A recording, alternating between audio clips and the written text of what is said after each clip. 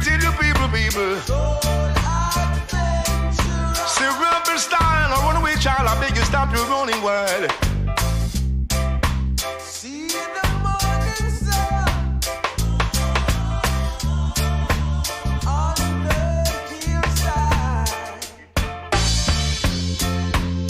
Nothing in this world they could I never, never, never do. I'm starting out the drip, I'm little higher, higher, baby. Let me tell you, say, say. Well, I've got a lot of work to do now, they bump along the way. So come on over, baby, make you work it on round there. So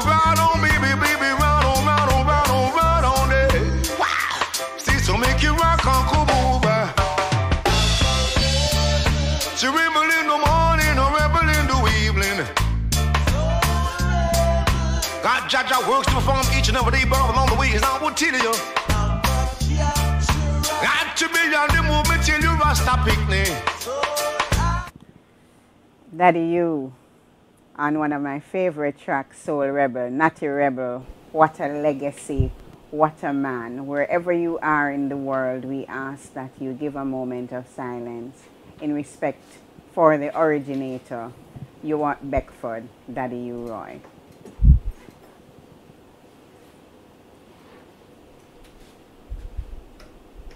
May his soul rest in peace and may he continue to wake the town and tell the people. Right now, we're waking the town and we're telling the people that Kingston, Jamaica, Kingston City, has been a creative city of music since 2015.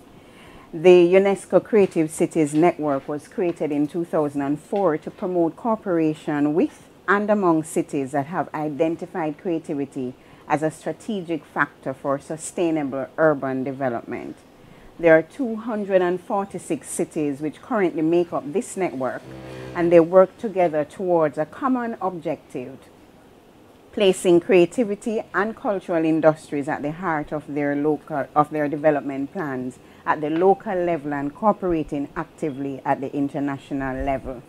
Um, greetings, Reggae family. Welcome to another staging of Reggae Open University. I'm your host this evening. My name is Coleen Douglas. And I just want to take the opportunity to thank some wonderful people who made Reggae Month possible. The producers of Reggae Month, the Ministry of Culture, Gender, Entertainment and Sport, and JaRIA's biggest sponsor, the Ministry of Tourism, the Chase Fund, Sagicor, Starlight Productions, JTB, TEF, CPTC, Java, JCDC, Reggaeville, Rhythm Agency, Surfer Reggae, Reggae Festival Guide, M1 Production, and SR Rehearsal Studios.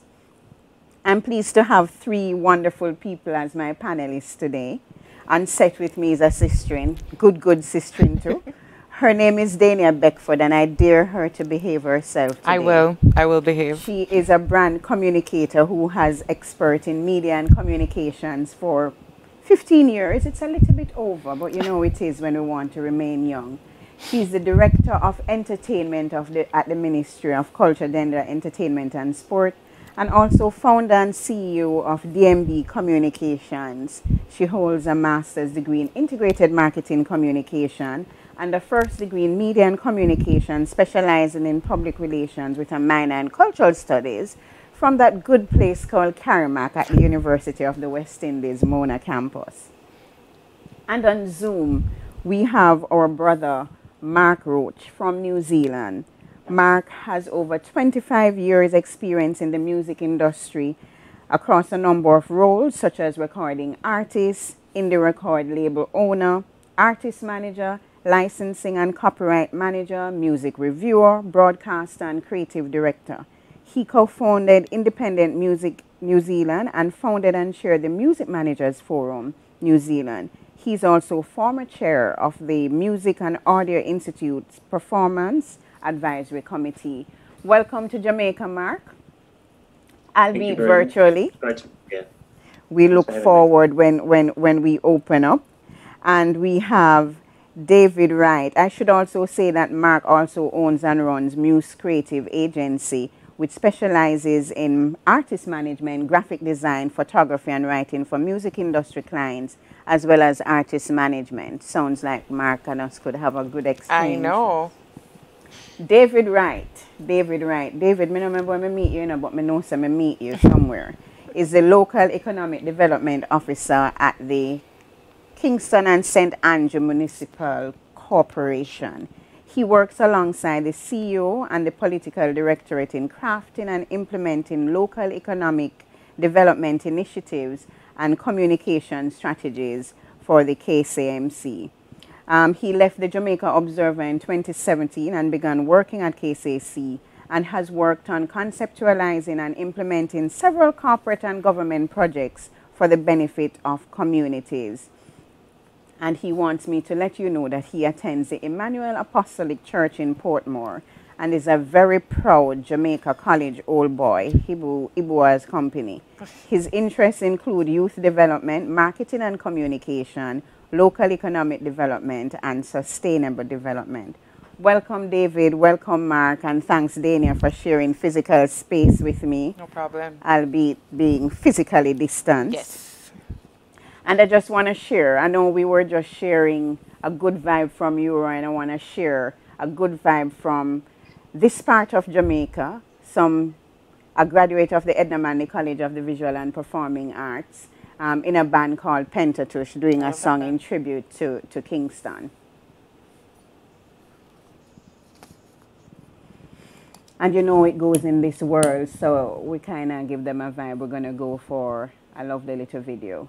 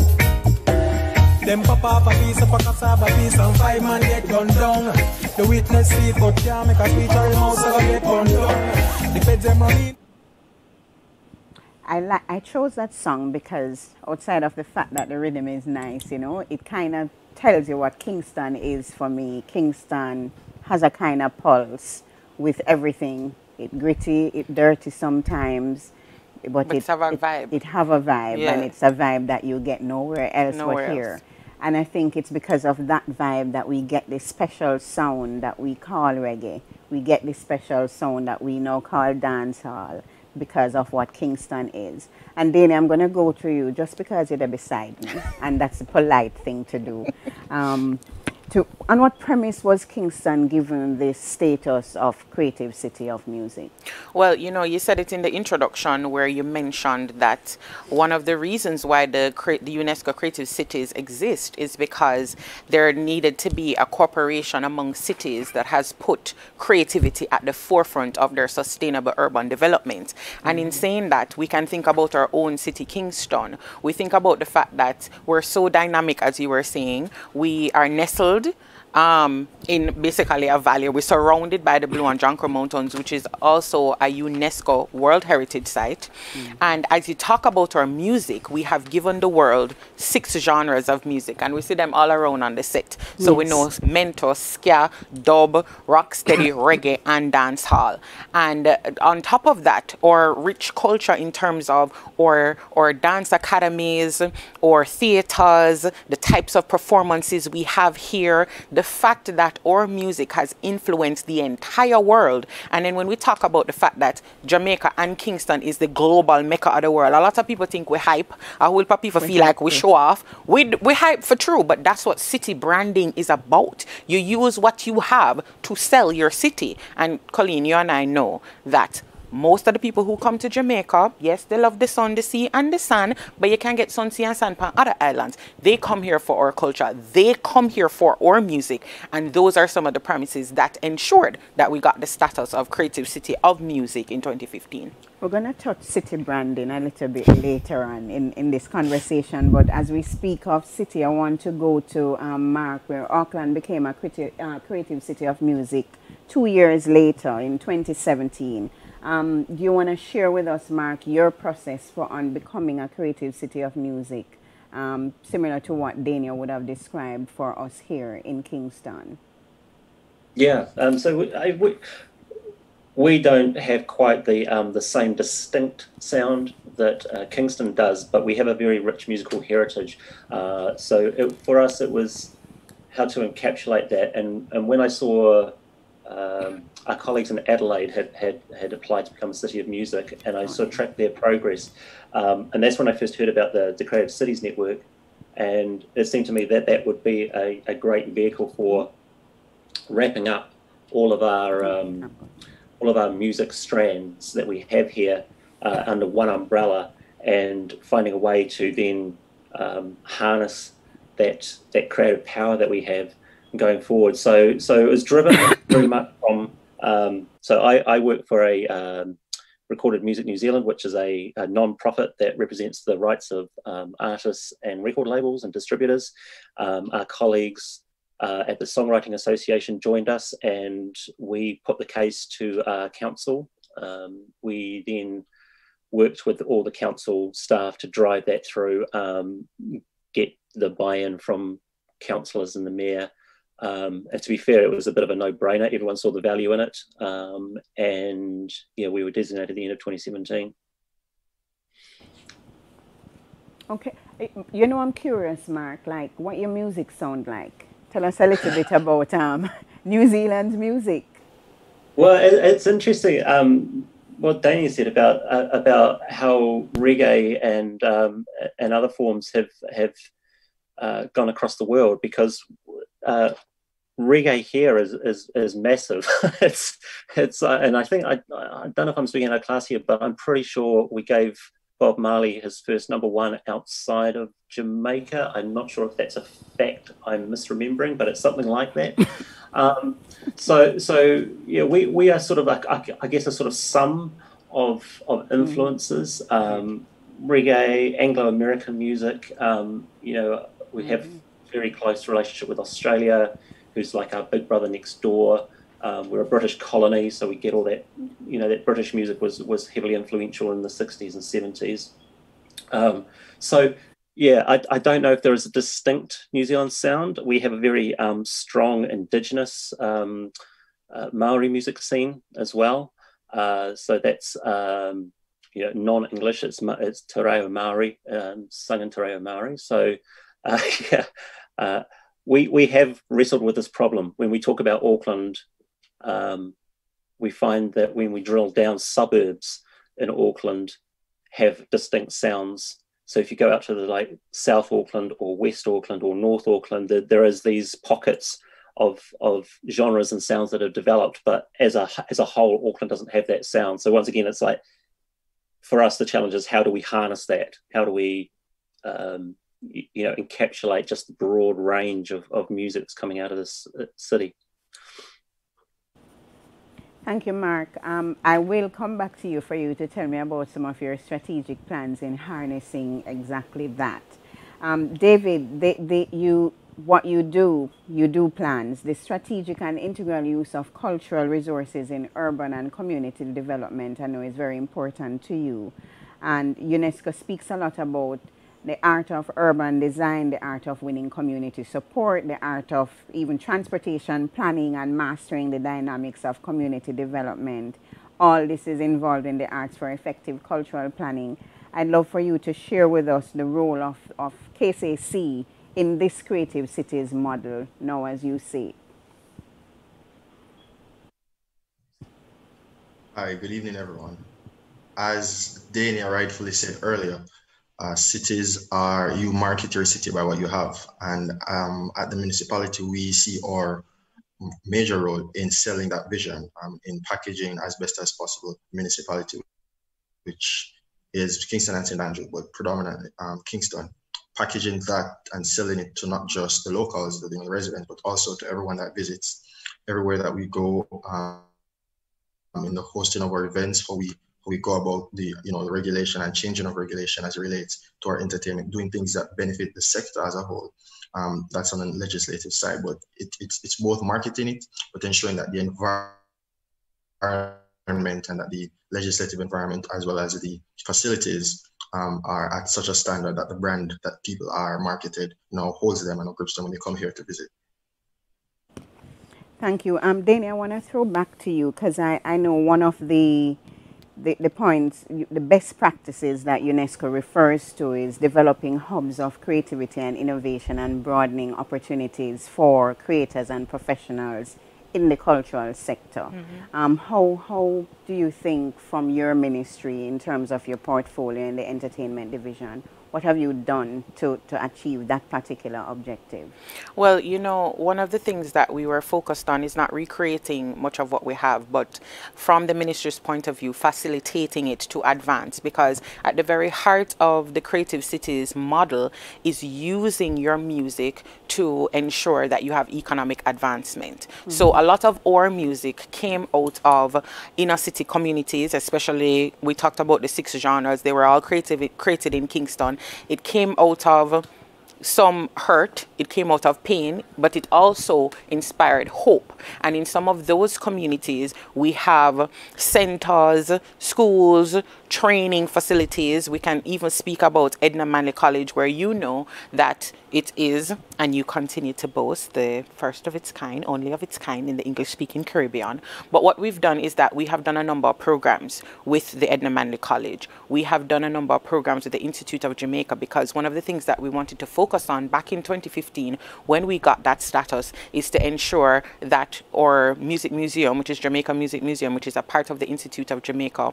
that we provide a larger home for it, that we provide marketing and media for it so that people are able to know more about our culture. Another thing is that we ensure one very important part of the network and the model is that we create opportunities for the creators of music or those who perform music. So mm. we have a lot of exchanges going on within the 246 cities. For us in Kingston, we have had exchanges with Katowice in Poland. We have had exchanges with uh, Hamamatsu in Japan and also in Mannheim in Germany. And some of that has come through um, artists from the Edna Manley College. Others have come through specific requests from those cities. And oh, we've also had one with Bogota in Colombia, and I think you were a part of that one, so you can give your experience if you want to. But I'm uh, one of the things that we focus on is ensuring that we have these opportunities that are granted to persons within the industry. We try to, as best as possible with the funding that we have to facilitate the organizations who are already propelling music as economic advancement. So we're not into recreating, but ensuring that we facilitate and uphold what we already have. Um, you mentioned um, Bogota, and I know I, I, I was with the artists who went to, to, to that particular city. Mm-hmm. And one of the things I noticed was how they, and David, that's perhaps something you can answer. In the daytime, when we had some time, we walked down the streets and it was a complete music street. Um, from people selling musical instruments to artists painting to people providing food to a craft market everything, they, there were no vehicular traffic in the afternoon on the street because it now becomes um, a street dedicated to music, um, perf live performances on location. And it was really great how they incorporated the visual arts with the performing arts in that space. Is there any such thing that you intend to do as a, as a municipality to, to allow for this creative expression and for the economy to grow from it, the music economy specifically?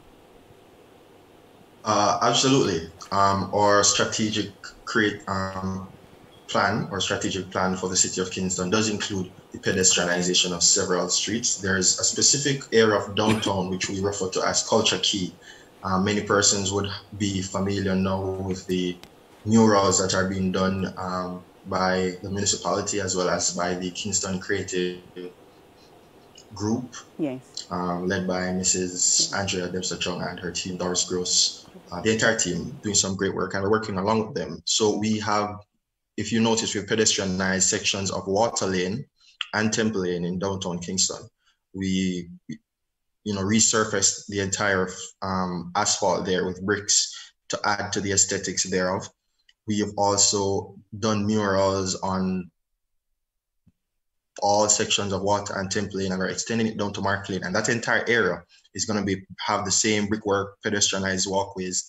And it's our intention to start encouraging um, waivers and you know to make the environment more friendly for promoters to come downtown with live music, live events. Um, the creative group, um, the Kingston Creative Art Group, they have a monthly art walk that they do where they have live music sometimes they have performances, sometimes it's an art show.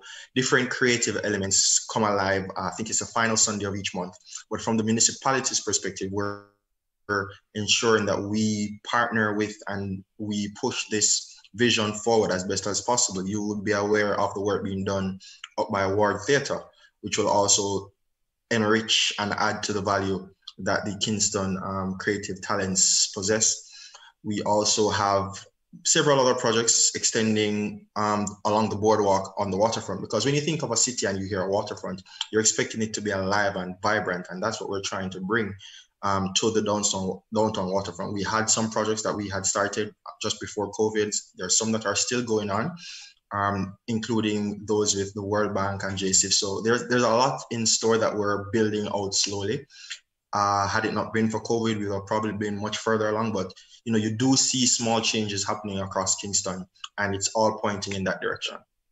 Um, thanks, David. Um, Dania, I have to ask you because in I know it sounds like we have a beautiful roadmap for the creative cities, and I just want to know how much have we really done to, to accomplish some of what David is referring to? Are we really driving economy?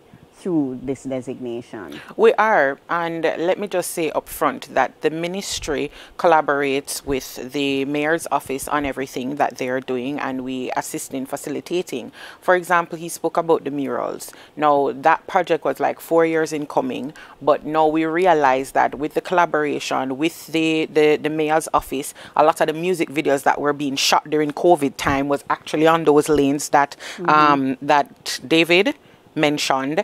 Um, we have a lot of people going down there taking photos now. We have, I even seen fashion shoots happening down there. So what it has done is also assisted with the conversion, convergence of the creative genres. So the music are coming with the dancing, whole people are shoot them, them videos down there with the fashion and all of that. But another thing that is important to the process, Coleen, is that sometimes persons may say, oh, we have the creative cities thing, and we not really, I do not with it. But it's, it's, it's, it's, it's a long-term project. Everything will not happen all at one time, but it is also for the creators of music and the performers of music to buy into it. And in this COVID time, we know that a lot of events, well, no events are being held. Everything is, is virtual nowadays.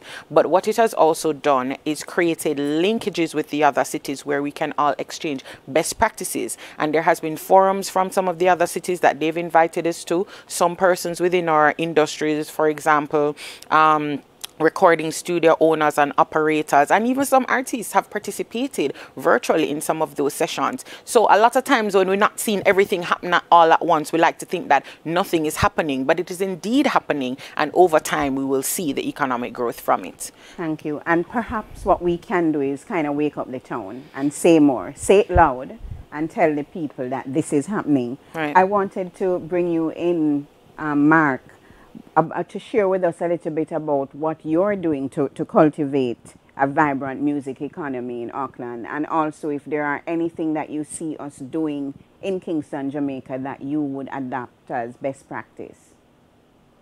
Yeah, I, I, it's interesting. I mean, I agree with with Daniel's point um, that this is a it's it's a long term project, and I think.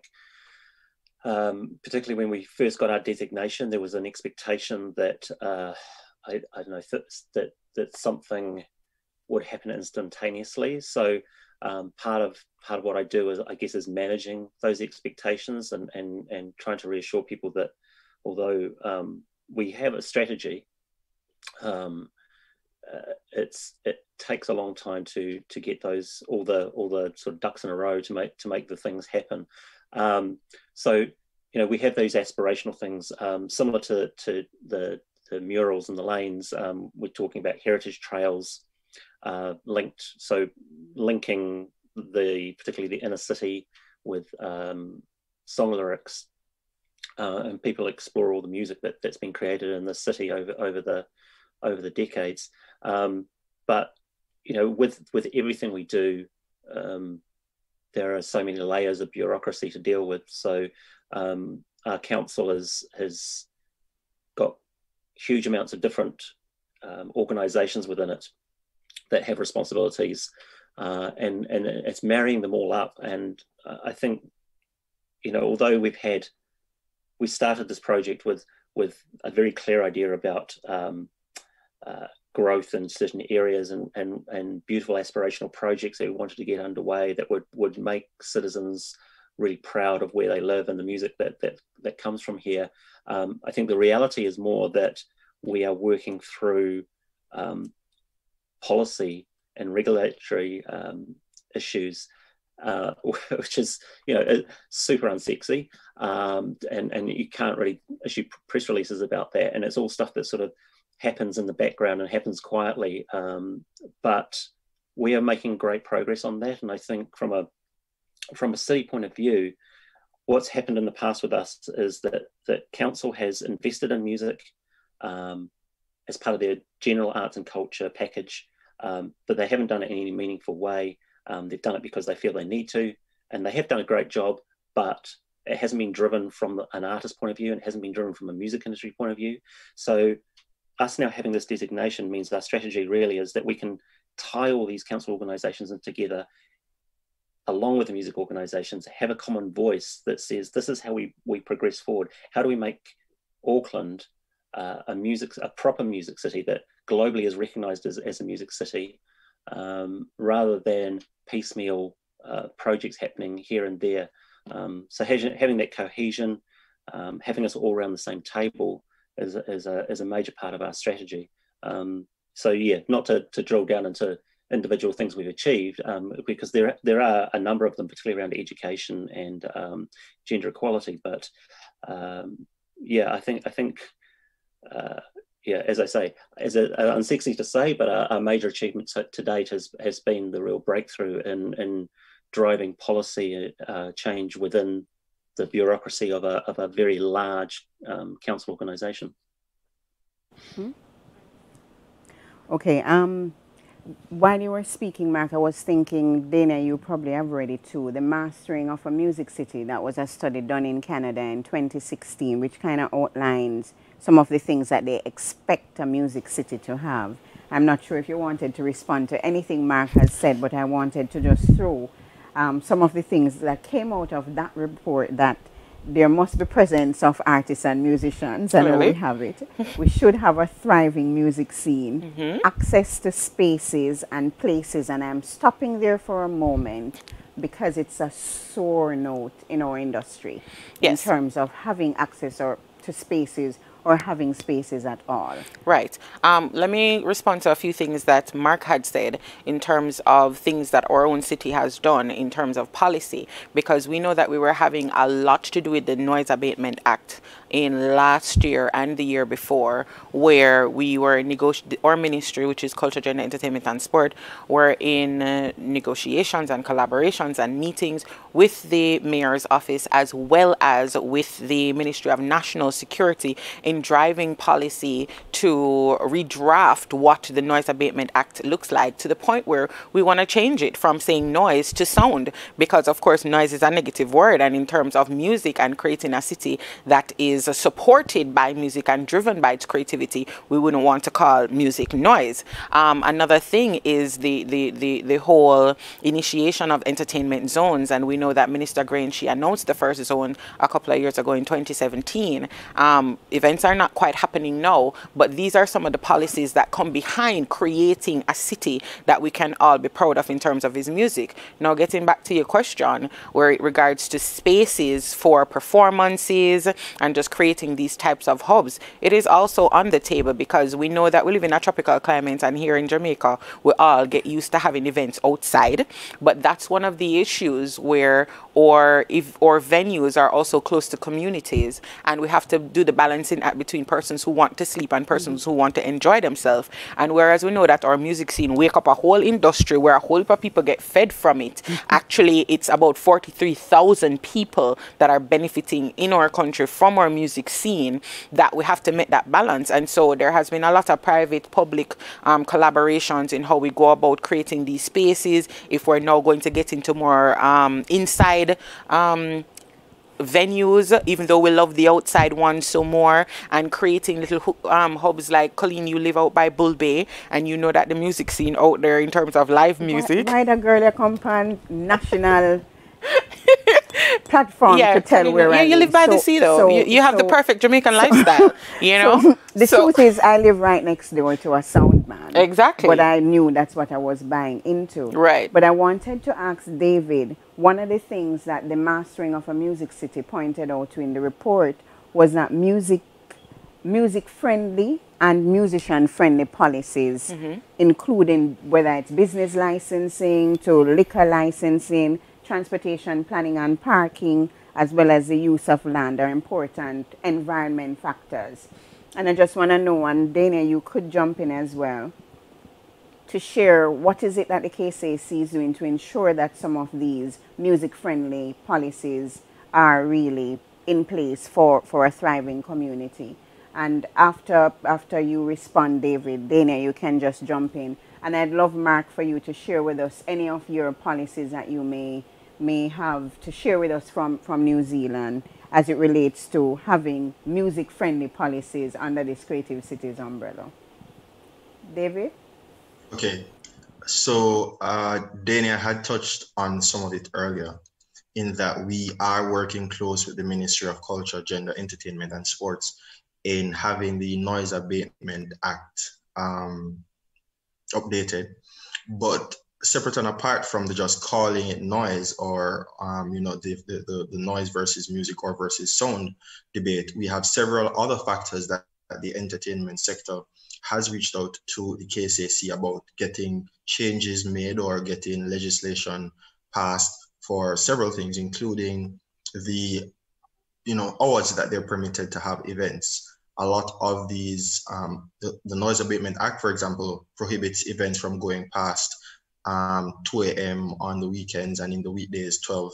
And that's something that they want to see change because of the, the way that our music has evolved, you know, and it's just our culture that, you know, most of these events, what they tend to go from 2 a.m. to 4 to 6. So it's not necessarily just, um, it's a one-sided thing. We're also working closely with the creatives in, um, as well as Jampro in getting for the, you know, the shooting of music videos, um, stuff like that, getting um, waivers Um, a lot of times persons don't know and they think they go around it, but there are fees associated with doing shoots and stuff like that. And the Office of the Mayor has been working closely with, you know, JAMPRO and with the Minister of Culture, Gender, Entertainment and Sport to ensure that the fees associated with a lot of these different, you know, laws and agencies that we can get them as best as possible looked at, revised if necessary, um, to ease some of the burden in putting on um, the events that we see. A lot of these events have, you know, four or five permits before they can be staged, and we just want to ensure that we protect the investment that the promoters are making. We've also been working with a lot of different stakeholders in ensuring that their venues are um, up to code. And that's something that we do ensure that, you know, the clubs and, um, you know, the indoor venues particularly are of a certain standard that the safety of the persons who go there um, is not compromised. We work closely with Hope Gardens, for example, another big entertainment venue in our city, in you know ensuring that we can broker some sort of understanding or agreement between the residents of the Hope Pastures community and the um the operators of the property so that you know we don't have the creative industries disturbing persons peace but at the same time we can facilitate these events being held which you know employs so many persons and you know um, contribute so significantly to our economy um, policy wise we are looking at broader policy for the near future we're looking at the pedestrianization of streets um, we're looking at facilitating, you know, um, grants each year for, you know, the, the culture um, aspects and the creative aspects um, of the city economy. We've invested heavily in ward theatre, and once that is completed, um, the drama and theatre industry will just come alive in Kingston, and it's something that we're really looking forward to. But it's also a space that will give you know so much employment opportunities um, to creatives across Kingston. Um, you know, in different areas, they'll be learning about theatre on a whole different level. And you know, that's something that we wanted to plug back into Kingston because Kingston was so rich in theatre and it was such so much intertwined into the culture of the city. And we, you know, we allowed it to fade. But you know, the, the days of Oliver and Miss Lou and drama and plays are coming back to Kingston, and we're going to be pushing heavily on that to ensure that you know, the policies are there to protect it moving forward, but so that it never returns to the state that it's in now, but also so that the creatives who are in the city with the, the talents in screenplay writing, videography, whatever it is that the theatre will need, they will get an opportunity to take their talents to the next level. Boy, David, I, I have to say before you come in, Dania, that theatre and drama never left Kingston, really. We, we have been. I do think what we miss, I saw Hamlet at, at Little Theatre years ago when I was in mm-hmm. high school. So those things we miss, we wanted to come back, but I don't think it went anywhere. Um, Dania, about them. So I, I think it changed venues. We changed venues. Yes. But yeah. Um, share with us a little bit about how you're collaborating in terms of music friendly policies. Well, for one, research has become the forefront of the entertainment division at the Ministry of Culture.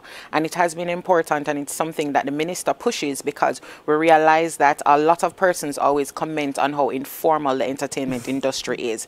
And in formalizing that, we need research. And so we have been working with the PIOJ. We have been working again, as I continue to say as I speak, with the mayor's office to ensure that we have the information that the creators and the creatives need. So for instance, during the period of COVID where we're not actually having events in our city, well, any type of events and especially music events, and we know that that's crippling the city, but we're doing an audit of eh, um, venues all over Jamaica, not only Kingston. So by the end of this period, we're going to know how many we have, how many can hold, um, as in the capacity, the types of events that are are are going to be good for these for these types of venues, and then we're able to provide the creatives with that type of information so that when they try to get their permits as at the the KSAC, they are better they are better off with the information that they need to hold these events. And not only that, we have our registry at the ministry registry. And a lot of persons initially they were like, you know, we're not sure we want to be a part of the registry. Why you want us to be a part? Are you just trying to get our information? But it again goes into that um, focus that we're putting on research because we want to be able to know how many persons we have in the different industries that we have here in Jamaica, the creative industry, and how is it that we can better assist you. So I spoke about the exchanges before. I spoke about the collaborations. Coleen, one thing we know about the entertainment industry is that they're very vocal. And this is the way to get vocal. When we do have your information, when we know you're registered on the registry, you have access to us all the time to tell us what it is that you need, how you want us to collaborate, and how you want us to work for you. Um, well, I'm smiling because one of the challenges we had when, you know, with the COVID 19 pandemic, when we needed information from industry, one of the things a lot of individuals in the industry were not registered anywhere. When you sign up with JaRIA, by the way, you can by going to jariaentertainment.com or any of our social media platforms at IG or Facebook and even Twitter and the entertainment registry. Registry. Uh, registry at mcges.gov.jm. Of course, you can do JaRIA Entertainment at gmail.com. So, for those of you who are online watching us from wherever you are, please remember that you can send your questions and or comments in the chat. I know we have Reggae TV all over the place. We're on PBCJ, there's JCDC, there is Minister Grange's Facebook page, there is the JaRIA Facebook page, there is Reggaeville Facebook, and there is Reggaeville YouTube that you can send your questions and we're monitoring questions or any kind of concerns any suggestions you may have for us here at, at on this conversation about Kingston, Creative City of Music. Want to go to our guests from New Zealand. Um, as you share with us some of the music-friendly policies, um, Mark, that you, you would have implemented or at least considering to implement as you move into, this would be now your second phase, it's 2021 of your Music yeah. City status. Yeah, I, I would have liked to have um, um, said here's here's some examples we've already done, but unfortunately, COVID sort of curtailed our ability to, to roll out things that would have been rolled out last year. Um, but you know, I will say there's a few things. So in terms of music friendliness, um, one of the things we're trying to uh, pilot we'll be doing this year is uh, music loading zones uh, outside or near near music venues. Um, so most musicians have told me that if that's the only thing we ever get achieved under this under this um, City of Music project, that would that, that would be an amazing thing because everyone's been ticketed or towed while loading gear into into venues. You know, just going about their their jobs and and and, and their their craft, and they're getting um, they're getting financially burdened. So um, having having musician loading zones is, a, is will be a major win, particularly in our in our um, entertainment districts. Um, we are also trying to speed up the consent process. So at the moment, if a licensed venue uh, wants to um, put on an all ages show, they have to apply for special consent or licensing um, to make that happen. And that process is taking anything between eight to 12 weeks, which is just untenable if you're, if you're trying to plan shows. So um, the short version of it is that, is that venues and promoters just aren't bothering. Um, they just give up. So um, again, we're at this table with the council. We can talk their language and they can talk ours. And uh, that's allowed us now to, to put in a mechanism that, um, and again, we'll be unveiling it later in the year, but a, a mechanism that, that will allow uh, venues to more rapidly adapt their um, their venues for, for between all ages and, and R18. Um, we're also focusing on all ages shows as well uh, uh, in the community, so not just at the, the dedicated music venues, but in community halls and um, finding better ways that um, underage promoters uh, and underage bands can um, put on shows, uh, and and that sort of feeds into developing the next generation.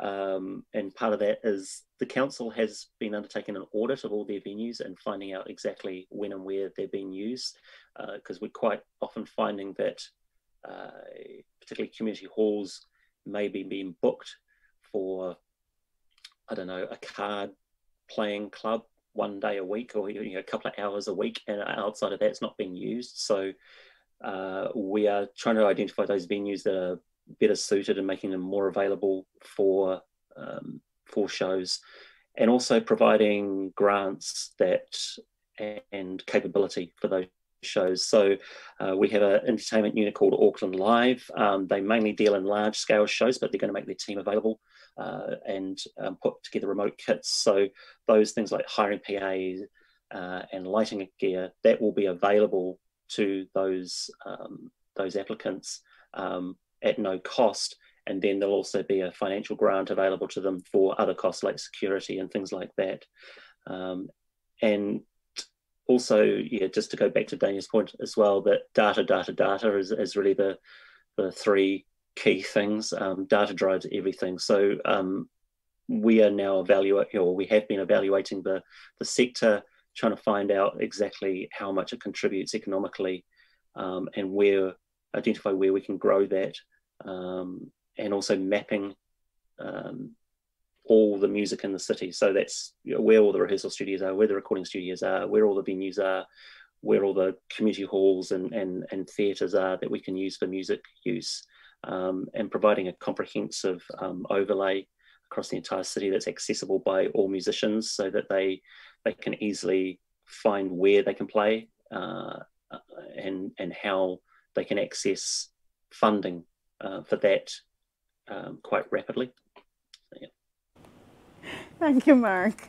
Um, you know, we, we, we brag about Kingston a lot. Um, and it, it, it's a hit factor to say that you're from Kingston, even for those of us who are from beyond Mocho. Um, we say that I'm from Kingston. Um, no, I say I'm from Kingston. Mm-hmm. Um, so place branding is has grown in, in the marketing world, Dania. Yes. Um, with branding techniques applied to the development of cities and countries. Um, I'm, I'm remembering class. Yes. The marketing of a place is usually inherently anchored in its people, its history and culture, and is usually a clear strategy for projecting images and managing perceptions. Right. Um, we can't deny, I mean, we get it anyway, but we can't deny some of the perceptions that people have of Kingston. One of them being crime ridden, very violent, very aggressive space. Mm-hmm. So I don't think we can deny that or run away from it. But how do we manage perceptions of this music city to get people to come so that we impact our tourism product? Well, you know, you know, I love city branding a lot, and uh, in branding a city, you really need to incorporate all the elements of the city. So you mentioned before that it was gritty, sometimes it not smell good, we have crime, but a lot of the studies also show that it is out of these types of situations seeking hope that the music emerged.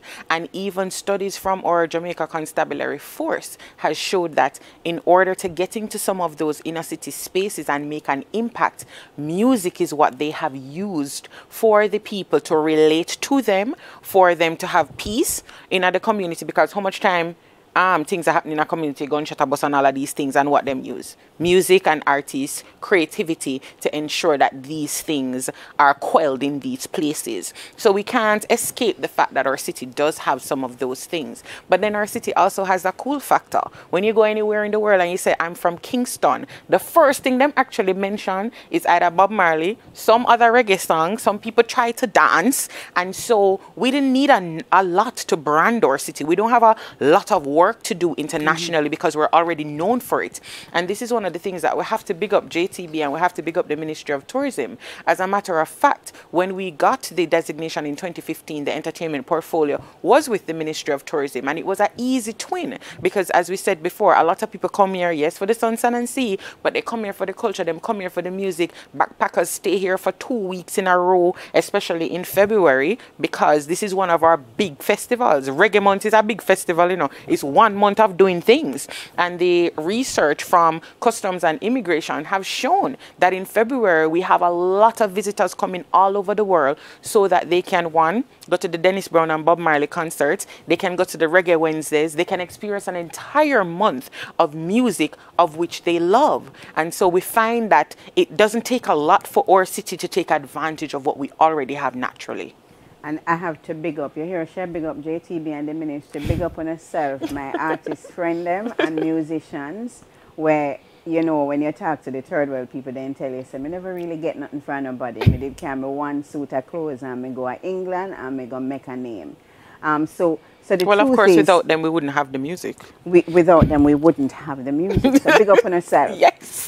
big up on yourself for continuing to produce. Um, I just, while you were speaking, I was thinking a lot about the the, the reggae month, reggae month in particular, and it's important that we're right now at this juncture. It might be different this year. Some of the people who I'm accustomed to seeing, like Ellen from Rhythm, big up yourself, I'm accustomed to seeing her perhaps from about 2010 Right. coming here consistently. And in the early days of the reggae month, I remember we had we had exchanges without a music city. We Yes. would have I remember going to Reggae Sun Ska because Reggae Sun Ska people came here. Right. Um, they, they brought bands, they played on our, our stage. So that exchange was going on informally before 2015. Right.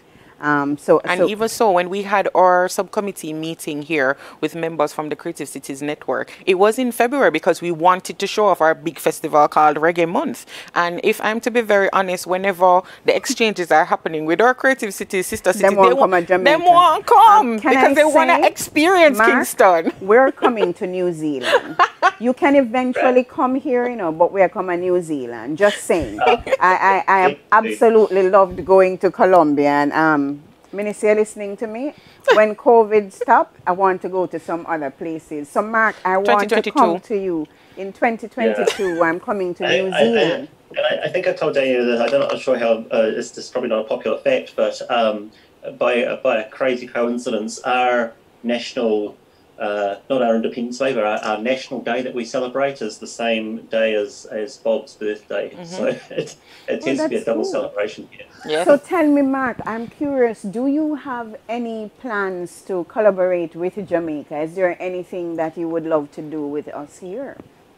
Uh, absolutely. And uh, you know, I have talked about this in the past, and we really need COVID to uh, just go away. Get to go about its enable it. business. Um, yeah, I mean, as Danny mentioned, with, with collaborations with other cities, um, we haven't yet done a, a, a proper collaboration with Kingston, and I would love to. And just by the sheer fact of the, the huge amount of, of um, reggae artists we have in, in New Zealand and in Auckland, um, it would make sense for us to do songwriting um, collaborations and performance collaborations as much as we can. So we have a huge number of sort of festivals and performances happen um, in our summer. Remember David?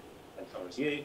Um, yeah, and, and it's just a matter of, of getting those artists together and, and, and making magic happen. Ah, we look forward. I look forward to hearing a little bit more about that project. There's Yes. a there's a wonderful college here. It's an arts college. It's called the Edna Manley College of the Visual and Performing Arts. We, we there's a music school there, so you may consider that in the mix. Can I just say that I just earned myself some Yeah. Yes. You just So, did. I, I just did. Yes, you but just did. David, I wanted to go back to, to, to KCC and the, the idea of city branding.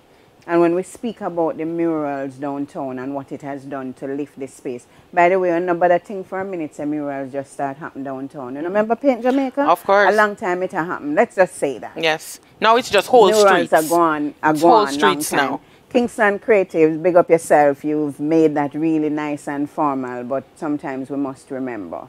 We give thanks for those who started this trend. We do. So that we could see the light, you know.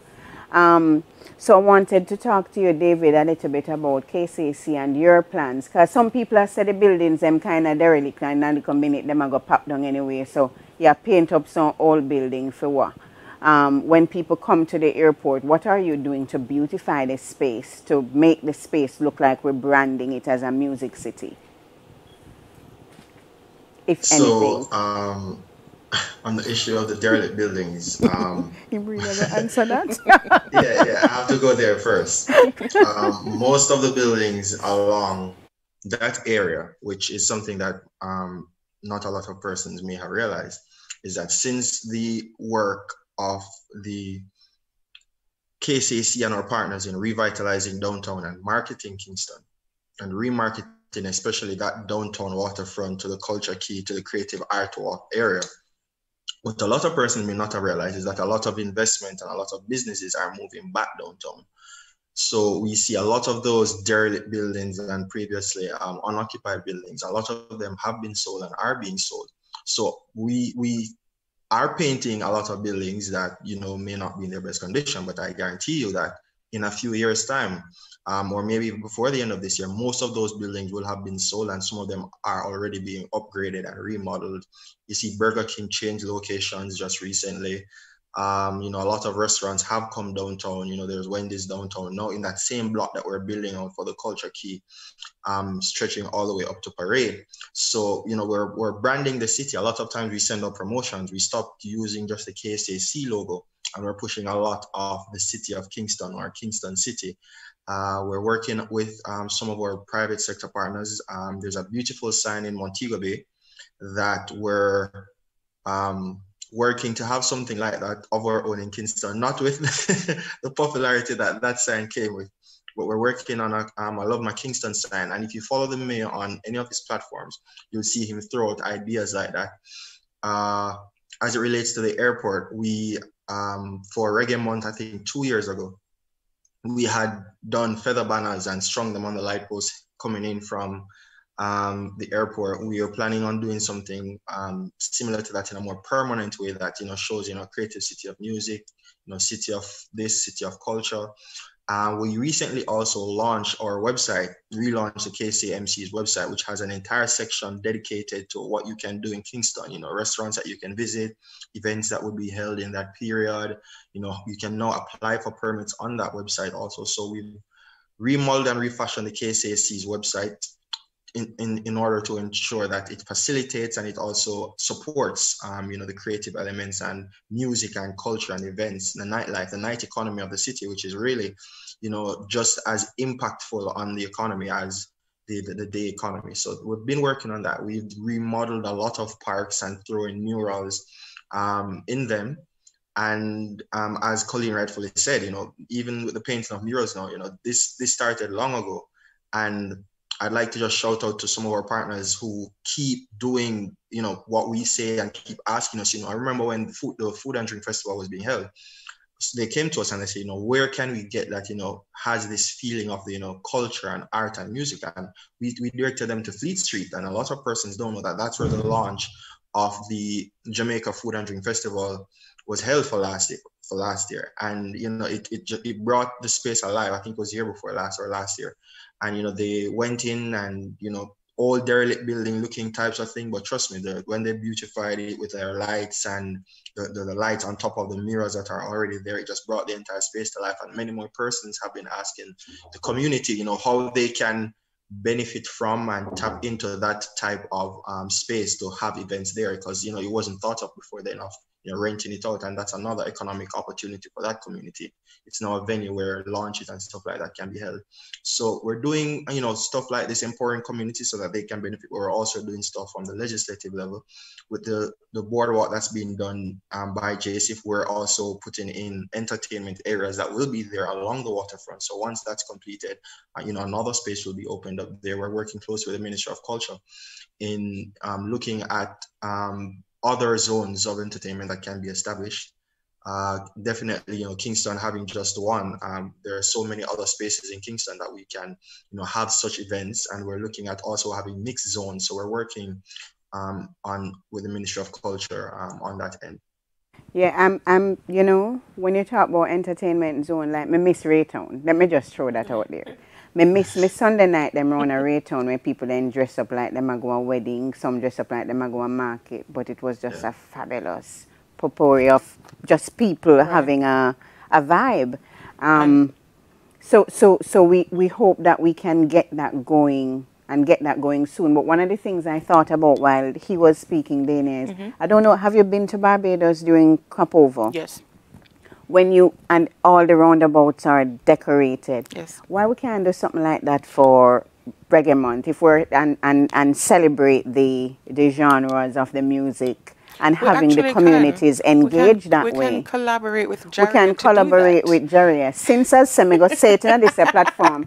it's going to be done. MC and what your name? Ministry. Ministry of Culture, then the Entertainment and Sport Kingston Creative, if you're not listening, don't bother take it and own it. Remember, say Coleen did say it, and Jarian needs to be involved, the Jamaica Reggae Industry Association. But but you know what, Coleen, we talk about entertainment zones, but that policy document um, that the ministry have about zones is not only zones. You have districts and you have venues. So as you talk about Rae Town, that is on the table. Um, we, Wiki Like, can I just throw in Wickie Wackie too?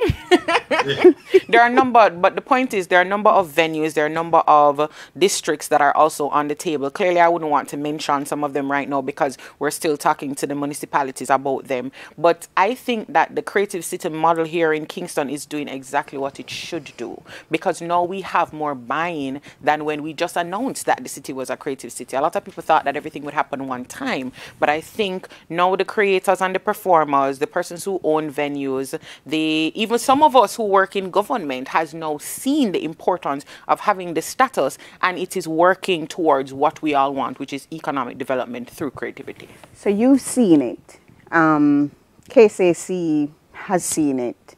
Um, government generally see is the music community sensitized enough about the creative cities model? There's more work to be done. Um, I believe that one of the things that we have not done enough is wait the town and tell the people, as you said in the beginning. And I think that it was also because we were building out strategically what we would be doing over the course of the program. Now, I, I can say definitively from the ministry point of view that that is what we're working on now, ensuring that some of these discussions that we're having now is not at the high level where you think strategy and government, but is more with the actual music industry community, which is what you and I are doing now, which is getting JaRIA more involved, which is getting our entertainment advisory board more um, integrated in the in in what the industry wants from the status and really just revamping how we do things. So going forward this is something that we spoke to spoke with the the KCC about is ramping up and collaborating with our private sector partners as well to get the communication and the marketing of our city more out there without of course not leaving out the Ministry of Tourism and JTB and um, some kind of encouragement for, for bands getting into spaces. Mm-hmm. Um, just the basic, you know, sometimes you hear the musician saying, I put on a show, but we need little backline support. Mm-hmm. Um, if, if a musician or if a set of musicians want to do a show like that, um, the ministry offers some kind of support and what's that process for, for people who are doing events? Okay, so we have heavily invested in sponsorship for events and for initiatives relating to music. Not only music at the ministry, but because we're having a music conversation right now. Right now, as you know, there are no events happening. But if you remember when I spoke about the audit that we're doing of venues, one of the things we're taking into consideration is exactly what you just said. So if an event is going to be held here, if it is live music, which is what we want to happen, what are some of the things that you would need to facilitate this? Because we know that our musicians and our creators of music, they can't do everything in terms of putting on an event. And so that is some of the support that we're doing research on to ensure that we have the funding and the support of, again, or, or, or public and private partners to be able to deliver. So you're right on the money when you talk about those types of things. It's already on the board. I'm right on the money. She's right, right on the money. Let's stay on the money. No, you know, it's funny because I'm thinking of the mastering of a city. I thought that was a really strong report, by the way. And what mm-hmm. I loved about it was they strung the report together by using very music, not just music, but almost like a musician and engineers kind of language so we're at laying the tracks. Right. The first thing you are doing at the studio, yeah, lay the tracks. We still a lay the tracks. Yes, we're still laying um, tracks. So we're not reach mixing and mastering. We not reach this yet. Not for some of the programs. Not for some of the programs. Um, I, I wanted to to bring Mark. Mark is fully awake. I keep thinking that he's you're like what 18 hours. Yeah, but so Mark, he's already into Friday. How is Friday, Mark? yeah, I come to you from the future. Mark, you know, as we talk a lot, we're, we're speaking more about Kingston. What we specifically invited you because of the, the notion of collaborating and best practice. And I know you haven't said much, but how much do you know, for instance, when you go to, and I'm asking you to publicly critique us now, when you go to our website that speaks about Kingston Creative City of Music, do you think there's enough there? Is there anything that you would want to teach us to do better Um, are you readily are you able to readily identify studios you could possibly work with, institutions that you want to work with? Is there anything missing that you'd want to see?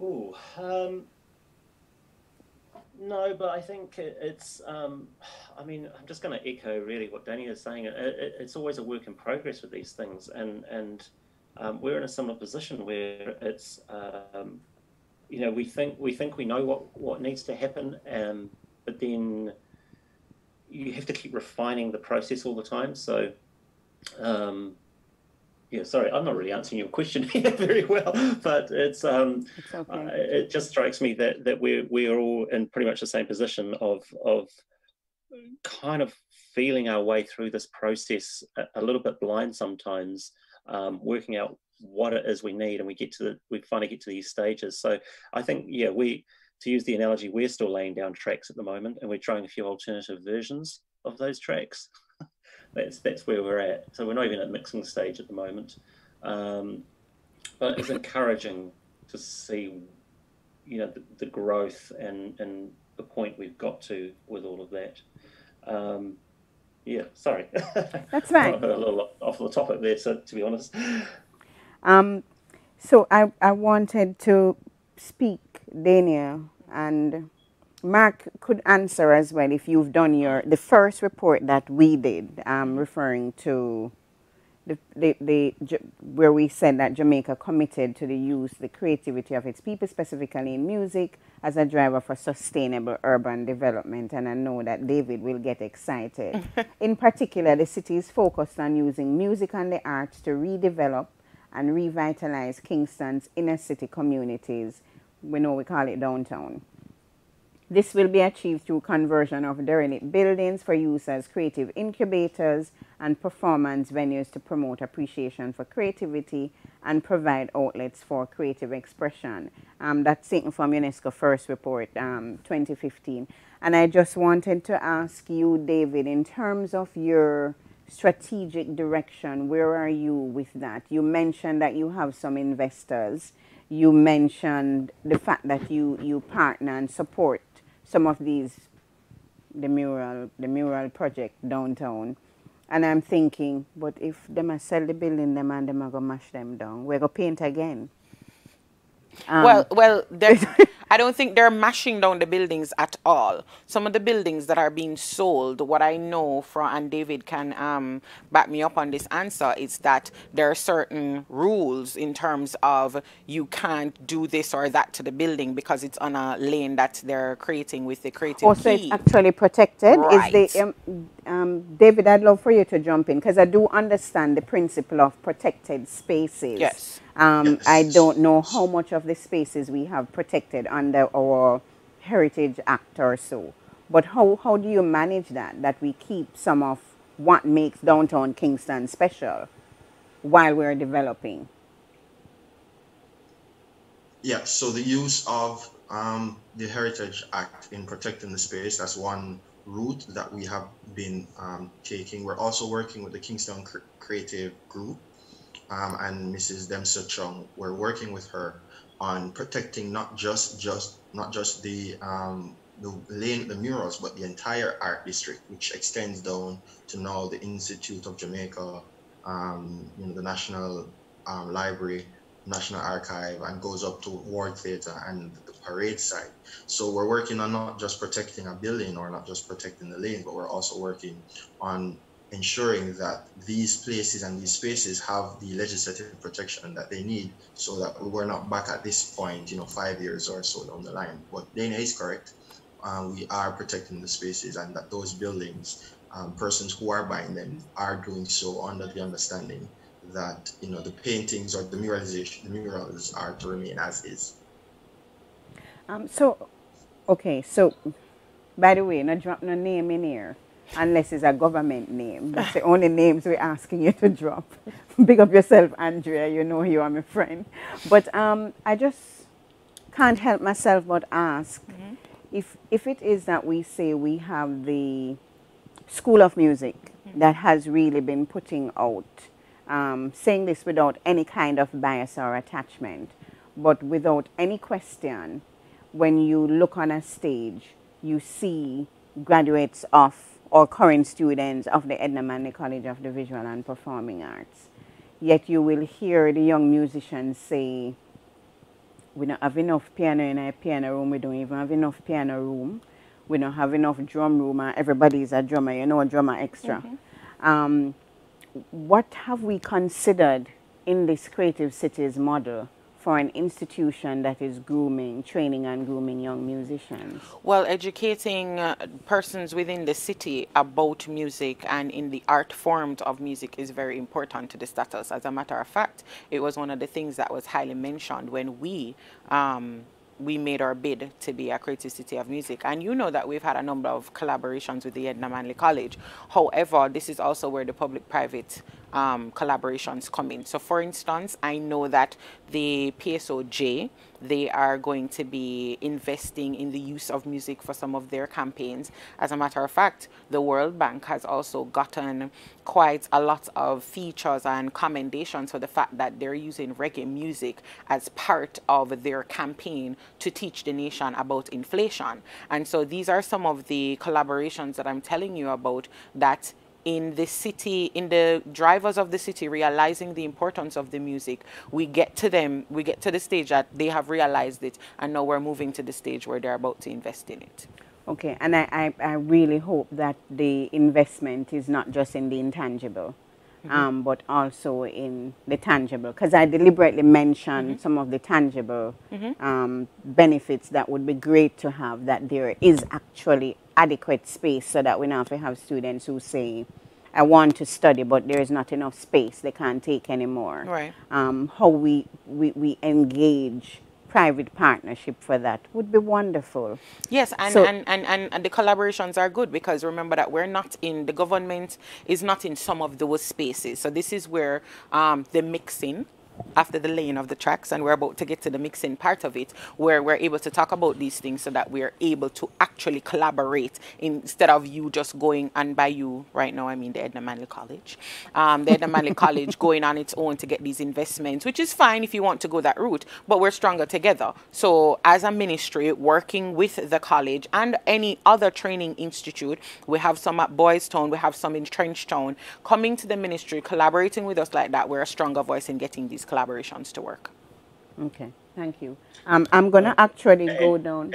Is, Coleen, sorry, just to is that Mark? Well, go just, ahead. Not just the not just the um, musicians that need training, but the, the, entire infrastructure. So that's something we've been um, working towards for the last four years, and, and getting professional development happening amongst um, particularly recording studios, producers, um, uh, with the music video makers, uh, the designers, the mm. artwork, um, so across the whole level and the promoters as well. So particularly looking at, at, at um, programs that mentor um, new entrants into the promotion market because that can often be quite a closed shop hmm? um, when you have established promoters who sort of have a stranglehold on a market um, and it's quite a daunting proposition for young promoters to get into but um, so yeah it, it's sort of um, sort of putting a, a, a light a spotlight onto all areas of our ecosystem um, because you know not every, everyone's a musician, not everyone's talented enough to be a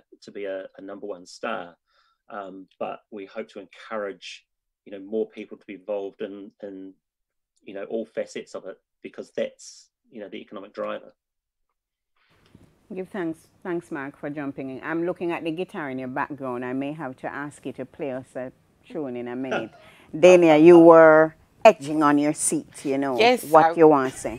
I was edging on my seat because I also wanted to mention the fiscal incentives program, which is also good for the types of things that you are talking about. It is definitely managed through the entertainment portfolio at the ministry. And what happens with the fiscal incentives program, which is uh, which also incorporates JAMPRO, is that uh, musicians, persons who own studio, persons who are in film and advertising, you're able to purchase your equipment abroad, when you ship them, we won't be able to pay your shipping costs. But if you're recommended and approved for the fiscal incentives, you're able to get your items duty free. And we know that in Jamaica, duty is one of the things that is always um, of talk. you know, me I give JaRIA that credit there.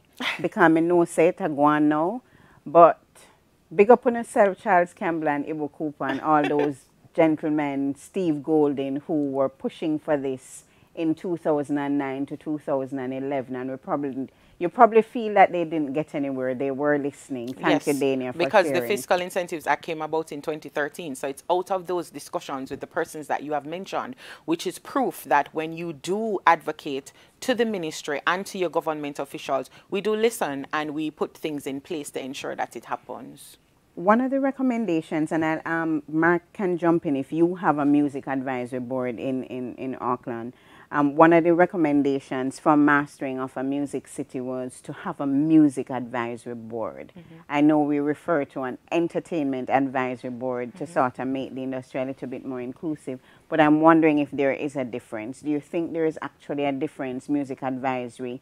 Um, I feel there is a big difference mm -hmm. versus an entertainment advisory board. Well, for us, as you mentioned, uh, music is not the only thing that is entertainment in Jamaica. And we like to think of our work as converging. We don't want to have it too much in silos. And mm -hmm. so the minister has a board, the Entertainment Advisory Board, and it has not only persons within music, but throughout the spectrum of our entertainment industry, mm -hmm. which we believe give a better snapshot of what the industry needs. But there are other boards. So we know that the JCDC, who unearths talent here in Jamaica, they have a board. Um, places like the CPTC, they have a board as well because you know media and technology is very important in this day and age when it comes to the distribution of our, our creative talent. So we use the Entertainment Advisory Board because it's more general and we think that we can get through to more of the industry. But what is also in place is also the Creative Cities um, um, subcommittee. And uh, whereas a new subcommittee is about to be named, we believe that doing it like that, we have that subcommittee that is focused on the music city status and what we do in the music industry. Minister Grange, you know, I want to go on one board. Let me feel me, me reach that stage and now I want to go on a board. That was an aside. Um, so, so I wanted to, to, to, to speak to the music tourism, and I'd love for New Zealand to jump in on music tourism and how you're maximizing this. Boy, the COVID, let's pretend COVID no exists. So we are talk in relation to a no COVID-19 pandemic. Mm -hmm. um, I do know that the ministry collaborates a lot with like a TEF, but do we, have we collaborated for a, like a comprehensive music city strategy and I'm saying that because I'm thinking, yes, we invite people to come to festivals, mm -hmm. but are there other things that we could perhaps think about that we would want to extend? So outside of festivals, for instance, as, and David, perhaps that's you, when we speak about musical landmarks, so we talk about down a big yard, who, where are your signposts? Where are the, the markers to say that these spaces exist? What are the plans for that?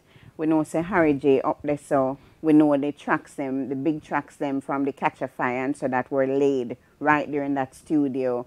Um, we know we Tuff Gong there, but we know it because we live here. Mm -hmm. Are we actively considering historical spaces? So I know you mentioned Jamaica Music Museum, mm -hmm. and we mentioned the festival, but I'd really love to see if we're considering some of those as projects we can undertake to really fill up this music city? Actually, yes. Remember, I told you that when we got the status, the entertainment division was with the Ministry of Tourism. So it was actually part of the larger strategy in how we get and market persons to come to the city because they did realize at the time and still do now, know that mm. music and culture was one of the reasons that persons were visiting Kingston specifically. So for the city in Montego Bay, most of the persons visited that city for the sun, sun, and sea. But the ones who are coming to Kingston, it's because they wanted to experience this culture that we have. They never really wanted to be in, in um, five-star, all-inclusive hotels. They wanted to be out experiencing the culture. And as a matter of fact, one of the most visited um, tourism attractions in Kingston is the Bob Marley Museum. So persons actually come here so they can go but where Bob Marley were. Okay, was. so me I go pick on you, David, because I kind of talking about like the studio them. Me know people leave from far and wide because they want to come work with, um, they want to come work with you, U-Roy. So U-Roy would have had people in I'm Space recently doing things we we have Uppsala Festival was at Harry J. Mm-hmm. But before that, we were having people coming in there to lay tracks. They come down to Grafton. So the studios. And I wanted to find out from you, David, what's in your plan under the Heritage Act as well? You know, England, so them have the blue plaques. to put some of those kinds of plaques. And perhaps what I can think of is the the Spanish Jamaica Foundation a couple of years ago, I think in about 2007 to 2009, they did a across the island trying to ensure that there was a Spanish presence in Jamaica, because I know the English didn't wipe it out. so in, in ensuring that there was a presence, they went across the island and put up a lot of markers in spaces where the Spanish ship would have had an impact. Yeah. Um, so David, I'm throwing that to you if you don't have it in. Uh, um, can, is that something you would consider in terms of creating these spaces of spaces of important music heritage markers? Uh, definitely, it is something that we do have um, before us. We're looking at it. It's a part of our strategic development plan moving forward as a creative city of music. Um, we've already started marking some places. As I said, much of the work that we've started to do has been done in our culture key. So the, some of the spaces in that area that have um, significance and historical value, we have started marking those areas. We have started doing work on monuments across the city. Uh, we've done a lot of work, um, you know, on historical and cultural monuments, not to stray from the music, but just to add that we have started, you know, marking um, places as we move further towards, you know, the trench town and beyond um, across the city. Then we will start putting in, you know, plaques. There's a program that we're working with the Ministry of Culture on um, for a Walk of Fame um, type of thing for the city of Kingston, where we would pay homage to a lot of the persons who, you know, may never get their own museum. They may never um, be buried at National Heroes Park, which is running out of space. But we must ensure that there is a space where their legacy and their contribution to the rich music and the rich heritage that we have can be visited and that their stories can be told. And so we're working on that um, Walk of Fame space and concept. Uh, but yeah, we're definitely going to be, um, you know, marking and putting um, nameplates, for want of a better term, um, across a wider cross section of the city and for places with rich history and um, a, a, rich heritage of you know birthing talents. Um, not just community but we're looking at also places like uh, the alpha boys home you know. So we're looking at spaces and places like these that have that history and that story that needs to be told and how we can move um, the city of kingston from just you know a backpacking through to a place to a destination city as the mayor would call it, to ensure that you know when persons come here, they're coming for a full experience. Uh, by the way, there's nothing wrong with backpacking. Eh? I like my backpackers. we want them to come. We want to come camp on the yeah. beach. We want them to come and camp at the little, because it's another type of tourism. And um, as, a, is, as a, matter of fact, the backpackers yeah. stay for longer, which means them more money long. over time. So we want them they to do, come. So, so yeah, I've met a lot of interesting um, musicians who come at Jamnesia, for instance, to jam with a Billy. And they stay in this space because it is actually a tourist space. So, so it's to, to acknowledge acknowledge that. So I'm happy that you're thinking about um, the, the, the markers at least and identifying the spaces for. But then I wanted to to go mark sometime I feel like me I leave you to me just like your company and me expect say you go. So for Mark's sake, um, can we get Jimmy Cliff's Reggae Nights? Why I'm asking for Reggae Nights? Because a lot of people don't realize that Reggae Wednesdays was not always Reggae Wednesdays, you know. It was Reggae Nights? When we started Reggae Month in, what, 2009, mm -hmm. 2010, thereabouts, Reggae Wednesdays was actually Reggae Nights. It was, it was Reggae Nights at, Edna, right. around at the amphitheater. Yes. Well, a lot of things going. Um, yeah, man. It was airy. Um, so yeah, so I, I thought of Cliff's reggae night so that we could just jam. Make we Mark, you can get a chance to drink some water and we'll drink some too. The water is not sponsored, so we really don't want you to see the bucket where we are drink water. So we are going to No free advertising. um, anybody with water want to sponsor Reggae Month next year, please, um, you may call the Ministry of Culture or you can reach us at JaRIA So let's enjoy this track, um, Reggae Nights um, by Jimmy Cliff. Bye.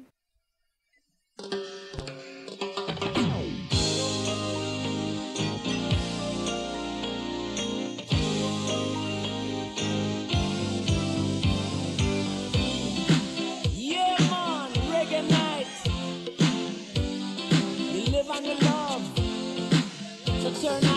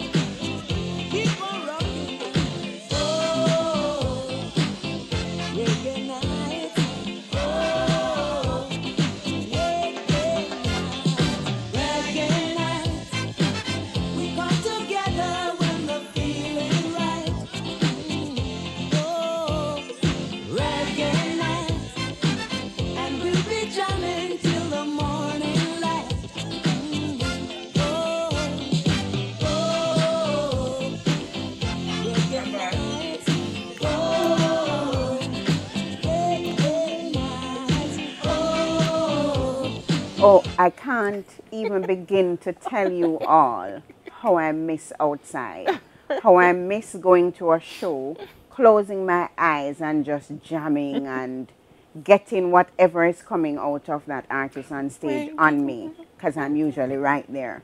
I completely miss that energy. and You know, the see how me of- going? How me going to the one um, little song? The one little song where Dania is. I know we all miss that, and so we are thankful for these kind of platforms. We are thankful that we had Reggaeton to remind us of this.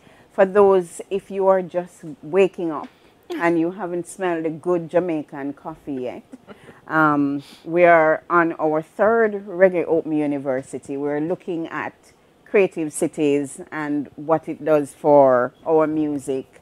Um, I have Dania Beckford, I have Mark Roach, and I have David Wright from the Mark Roach is from New Zealand, spending some time with us. Um, he probably, perhaps he will play some music for us in a minute because he's an artist. Mark must be like, what's wrong with that girl? And we have been laying the tracks. We've been talking a lot about, for those of you who are on social, please be mindful that you can send us your comments, you can send us your questions on any of the Reggaeton TV platforms. Um, so at this stage, I just kind of want to let's go to our guest, our guest from New Zealand. Mark, I know you said that you you can't wait for collaborations. Um, what, how, I know how COVID-19 has impacted the world, but what, what are you doing? How is your music industry faring now? And what are Well, you doing? Yeah, I, I, I feel slightly embarrassed to, to, to, to tell you this, but we've we've been um, we've been largely COVID free for the best part of Don't be embarrassed. I think you should shout it to the world. and have been filling stadium gigs for the for the last sort of six months. So um, yeah, we just recently had the One Love Festival down in Tauranga, um, which was uh, 20, 30,000 people, something along those lines. Um, yeah, our, our bigger bands are, are doing stadium tours every weekend.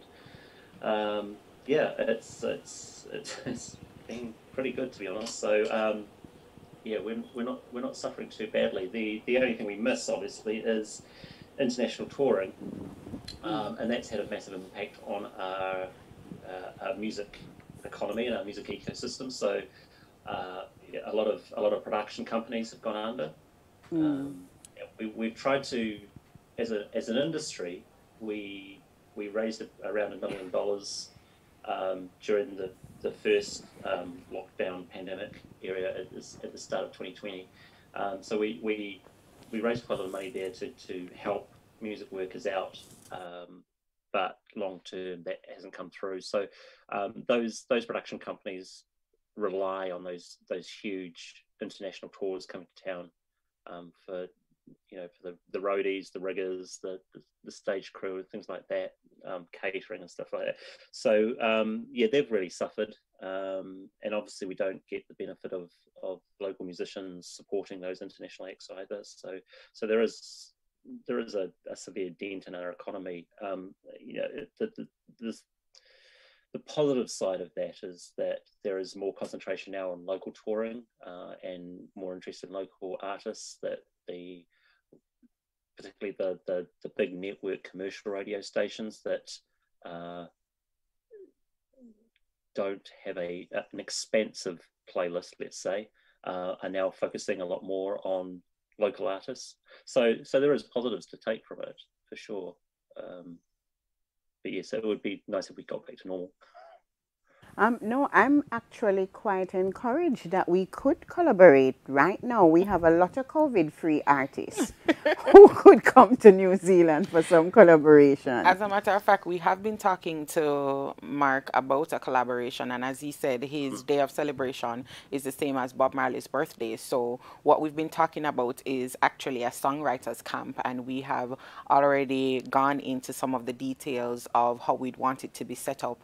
Us going there, well, by us, I don't actually mean me, I mean the songwriters. the songwriters and the performers, um, them coming here, having an exchange like that. And uh, hopefully, if we have that type of collaboration with the Marley family, that maybe some of those songs and performances can happen. Just say the in- Marley family. We it went could there. happen. It could happen. It could happen. It could happen. See, sisterins, sisterins, you know and I think, yourself. tho- those, those, that, something like that's just really important. It, it, it, it strengthens the ties between our two cities. Um, um, it strengthens those ties between the um, between the musicians. But um, you know, it, it's we're all speaking a common language. That's the, that's the great thing about music. You know, and, and it gives us an opportunity to to you know to build something new and interesting and exciting that um, you know is is beyond that the people can relate to, you know, the public can relate to it, you know, and, and, and that's it's vital. I just think it's vitally important, and it's the benefit of this Creative Cities network that we're in. Um, thanks, Mark. Before you, before um, I, I shift from you though, 2021 is the International Year of Creative Economy for Sustainable Development. Yes. Um, is there any acknowledgement of that in Auckland? Are you doing anything in particular to to really observe this? No, um, so well, there was again. It's you know the, the, the knock-on effect of COVID. So we were planning a, um, a creative cities conference here, um, but we've had to move that back to at least next year now, um, and we're still got the option of moving it even further than that. So um, yeah, sadly that that's that's where we're sitting with it. We haven't toyed around with the idea of doing a virtual conference. Um, no, we don't want any. Let's wait. we no, wait. No, and, I, and, you know, this is the thing. Um, talking to Dania about the, the, the, songwriting collaboration as well. It's you know it's feasible to do these things online, but it's different. I, I just think that the, the the inspiration and the and the, the sort of magic happens when you get people in a room together. But those conversations and those sort of late night jams and you know a few drinks under the belt as well. You know that, that things things start happening then, you know, um, and they those can't be replicated over a over a Zoom call. Thank you. Thanks. Thanks for sharing, um, Mark. David, anything for for the year to to mark that from KSAC? Listen, me use the KSAC. Forgive me. It's KS A KSAMC. MC. KSAMC. That's a lot. Is where David gone? I'm right here. I'm right here. so um, yeah, there there's a lot of um, collaborative work that we can do. Um, I've heard um, Dania extending um, an invitation to go to New Zealand. So when the songwriters when the songwriters are going over, I'll um, brush up on my skills and I could accompany them. It's not for you. not quite for you, David, but okay. not for you at all. I've written I've written quite a few songs. here. Ah, uh, where are they? Okay.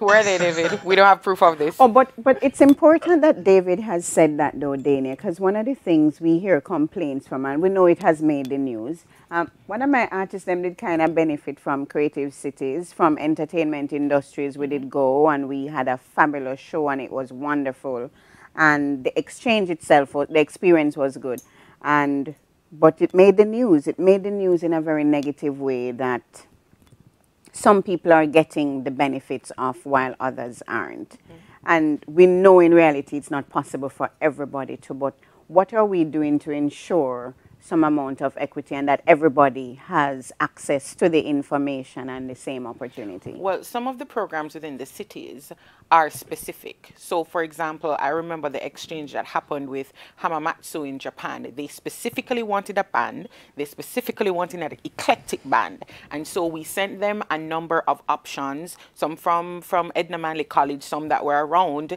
and they specifically chose the one that they wanted. So some programs are like that. That was Notice? No, that one, Notice was the one in Germany with okay. Mannheim. That one was with Nomads.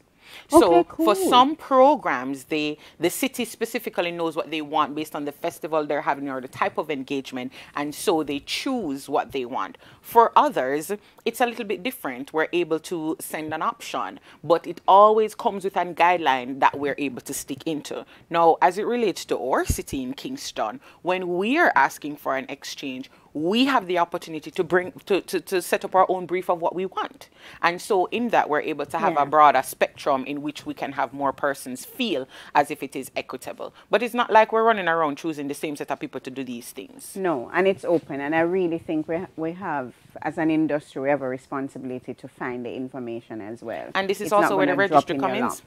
So so and you sign up for the entertainment registry, you I'm pushing JaRIA membership. It's important that you become a member of an organization. It could be JaRIA, um, it JFM. could be JFM, it could be Java. Um, Java. So, so, so there are enough organizations that there's nobody in music that you shouldn't be a part of something. Um, so you're not running around, you know, like headless chicken when you need you need that kind of assistance. I wanna have my music for me. Wanna have Chronixx? Okay, so we can entering the discussion. Chronixx is just about to enter the discussion. It is 7:42 in Jamaica. Um, we really kind of want go up to eight o'clock but my, my mouth dry and I'm tired and hungry, and there's a curfew. But and there's a curfew. so even before, perhaps we can close with, with those music and just ask for some closing thoughts from David and Mark who are on Zoom. Then I'll come around to you, um, Dania. No I'm sorry, I was just doing something that you know radio people do. So Mark, any any final thoughts? Um, I know you would have loved to be here sitting beside us, but you're not for the time being. Um, so before you go, we'd love for you to just give us a vibe, how you feel about Reggae Month in particular, how you feel about possibilities for partnership with Jamaica, and any other partnerships you may have with other cities that you care to mention. Sorry, I um, you cut out there I mean, Everything froze, so I kind of missed the question. Um, was that about partnerships? Yes, and, and it's your closing thoughts. Yeah. Um, so I still believe in the value of, of, of this Creative Cities Network. It's, it's been, you know, massively um, helpful um, to learn from other cities, uh, to collaborate with other cities, to throw ideas around that we can all all, all use. Um, and I, th- I just think it's it's the right path. I think now um, more than ever, uh, when communities are, are fractured, um, that we need cohesive music strategies and creative strategies in our cities to, to bring us all together and to to to make sure our communities don't unravel. It's it's it's you know I have a city that that quite often the the councillors and mayors, successive mayors, love to talk about infrastructure. They love to talk about roads and transport and and, and sewerage and and you know all those kind of things. But ultimately, it's it's the the music and the and the creatives that in the city that that that are the lifeblood of it and and and make cities just so vital to live in.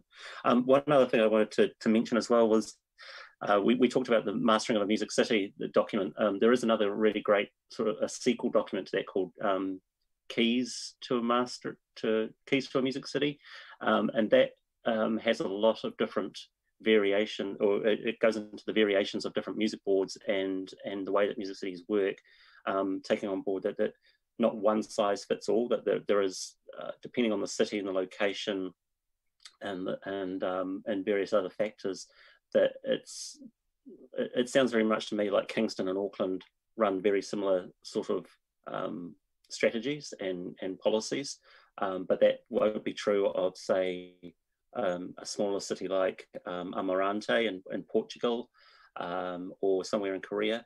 Um, so that Keys to a Music City document is really, really valuable um, and worth anyone, you know, everyone should have a, have a look at it if they can, because it, it explores different models of, of Music City um, uh, administrations and, and, and uh, deployments. Thank you, Mark. I'm David. Um, I don't know if David is still yeah, with us. I'm here. Um, we, we, you have an opportunity to do everything that you possibly can during the downtime of the COVID-19 pandemic. Nobody now apply for license since we have no event. We can do everything else in terms of making music-friendly spaces and, and policies. What, what do you leave us with? Well, we have been doing um, an audit of all the places of amusement across the city. And we're getting ready to have that information um, made public, as well as we're getting ready to have it presented um, as a part of our overall strategic development plan. So what Dania said earlier is key in that, you know, the fact that there are no events now, they are research driven, and that's what we have been doing also to ensure that we come out of the pandemic in a better position than we were before as it relates to you know policy and licensing and fees and costs and stuff like that. So we have, um, as I think it's almost a 200 page document that we have compiled as it relates to the broader strategic development plan, and clearly under it, um, you know there is a significant portion um, dedicated to you know the city uh, marketing the city as a creative city of music. So we have been building that out. Um, it's almost ready for submission to our minister, and from then we'll present it to, of course, our other partners, including the Ministry of Culture, Gender, Entertainment, and Sports. Um, separate and apart from that, we've been doing work with um, the Kingston Creative Group We've been doing work with a lot of local talents, also several projects that we're working on. We've also been doing some partnerships with companies, you know, to train our creatives in videography um, and other um, areas of the creative industry. So we have been doing um, separate things um, in this downtime of the pandemic to ensure that we bounce back and we're able to recover um, in a much stronger position than we were pre-COVID. Okay, thank you. my friend on set, what do you, what, how do we move forward with, with plans for this second leg of our creative cities status? The focus is research, collaboration, and implementation. So that is exactly how we're working it. So we're doing all the research now. As a matter of fact, many of our sister cities have actually called upon us for some of our best practices because um, internationally, Jamaica looks Unallowed. good. We're yes. loud. We're still doing things. Festivals are still happening here, albeit virtually.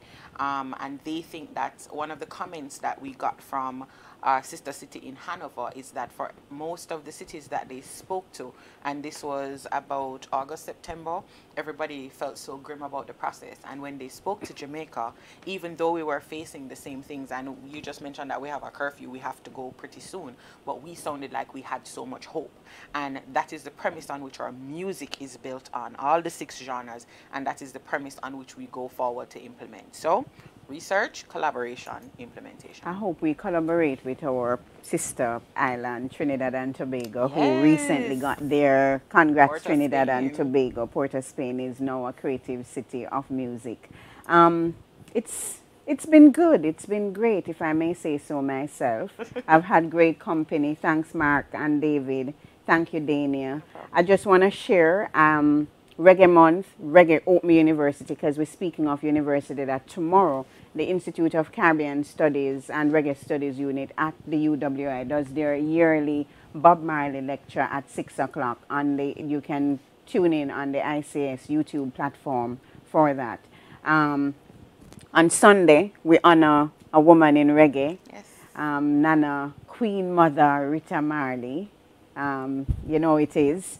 Um, uh, and we, we, we we invite you to tune into that to 5.30. I think, I don't remember the Zoom link, but you can go Sosa Crew, S-O-S-A-C-R-U on Facebook. And of course, next week we are back here, right here in this space for another Reggae Open University. No, before that we have Reggae University on Tuesday. At 6 o'clock as well. I don't really remember what they talk about Tuesday. They're going to be talking about incentives. Oh, they were talking about incentives. Lenny, you should be proud of me. Minister, you should be proud of me. And Dania, we remember. And so Tuesday we go back to that. And then on Thursday we have another Reggae Open University. This time we look at the impact of reggae globally. And yeah, enough for una out there, so we talk about it all the time. After we we can brag about it all the time. that conversation will be led by Dr.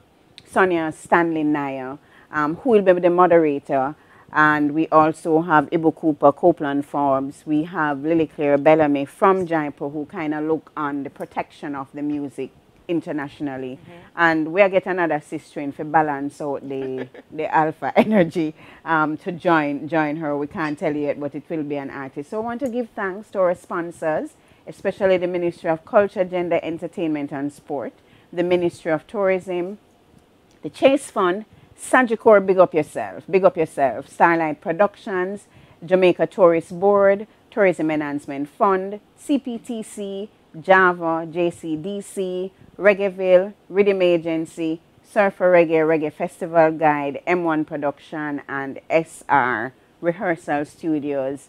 I'm your host with the mostest, Coleen Douglas. That's sounds corny, but I'm Coleen Douglas. It rhymes, but it rhymes. And it has been my pleasure sharing with you. And yes, we like music. We don't know what kind of music they have up there for you, but we can out with some music. we have Chronixx. Smile Jamaica is quite appropriate. Yes, it is. So enjoy, and we'll see you next week.